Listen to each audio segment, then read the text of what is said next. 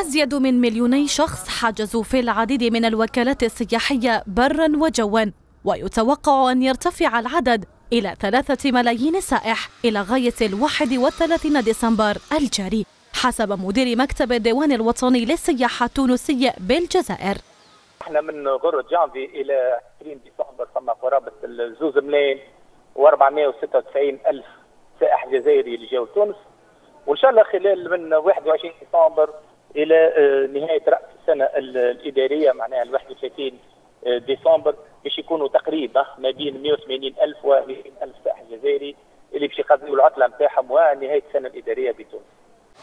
السائح الجزائري يفضل الوجهة التونسية لعدة اعتبارات أهمها القرب الجغرافي وسهولة التنقل إضافة إلى الأسعار المناسبة والخدمات الجيدة المتوفرة التي لا يجدها السائح في وطنه.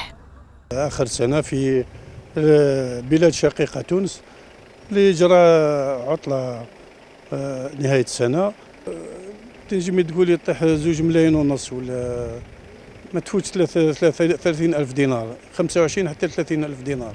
جيت من باتنا ورايحة لتونس الحمامات نعقبوا مناسبة ال réveillon بلادنا شفناها بغينا نبدلو. بالنسبة لنا حنايا هي فور علينا. عزوف الجزائريين عن السياحة الداخلية. سببه نقص المرافق السياحية وارتفاع أسعارها مع تدني الخدمات. واقع ترجمته هجرة الجزائريين في كل موسم سياحي. فمتى ستنتعش السياحة الجزائرية؟